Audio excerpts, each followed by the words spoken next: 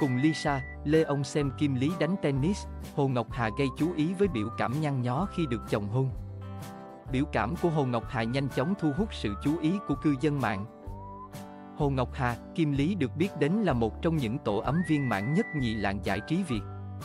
Không chỉ được ngưỡng mộ bởi sự nghiệp ngày càng thăng hoa, cả hai còn khiến cộng đồng mạng không khỏi suýt xoa khi cùng nhau chào đón cặp đôi song sinh Lisa, Lê ông vô cùng đáng yêu kháu khỉnh.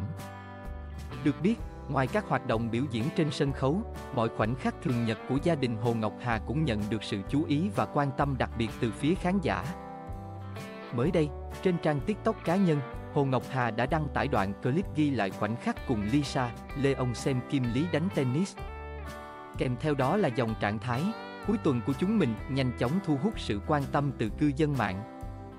Trong clip, Lisa, Lê ông được mẹ Hà cho diện trang phục nhẹ nhàng thoải mái đang cùng nhau ngồi ngoài sân nhìn Kim Lý đánh tennis.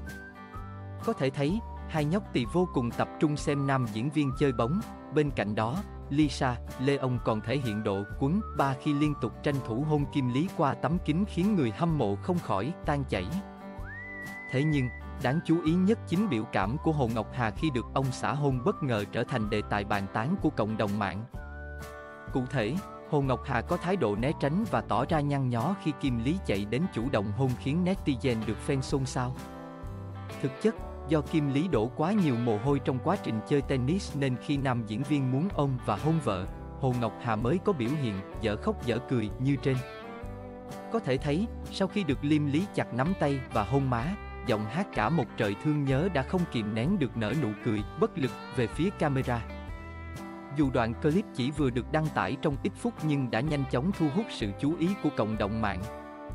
Dưới phần bình luận, người hâm mộ đã không quên bày tỏ sự thích thú với biểu cảm của Hồ Ngọc Hà, đồng thời cũng không quên để lại lời chúc phúc cho gia đình nhỏ của nữ ca sĩ. Nụ hôn cuối là sợ mồ hôi. Hình như Kim Lý còn đòi ông ý. Dễ thương thật.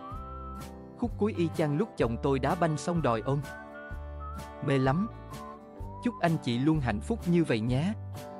Hồ Ngọc Hà, Kim Lý luôn được suýt xoa khi sở hữu chuyện tình đẹp nhất nhì showbiz Việt.